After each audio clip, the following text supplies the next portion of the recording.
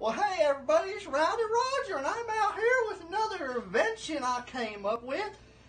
Do you ever, do you ever go to go to the bathroom? Cause I know you do, cause I have cameras.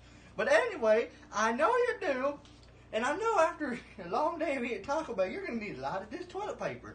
But you're sitting there, you're wiping, you're like, well, gee, God darn, it's so dark in here, I can't see a darn thing with my eyes. So introducing the brand new Light toilet paper. Come in the store near you for only $5.99. For only $5.99, you can have a deal this sweet for the whole family to love. I'll tell you, you can tell scary stories while you're in the bathroom. Ooh, spooky. All you need to do is press this button right here, and it comes with multiple built-in modes. It can blink blue, it can stay blue, or if you just want a normal light, all you gotta do is put it in here.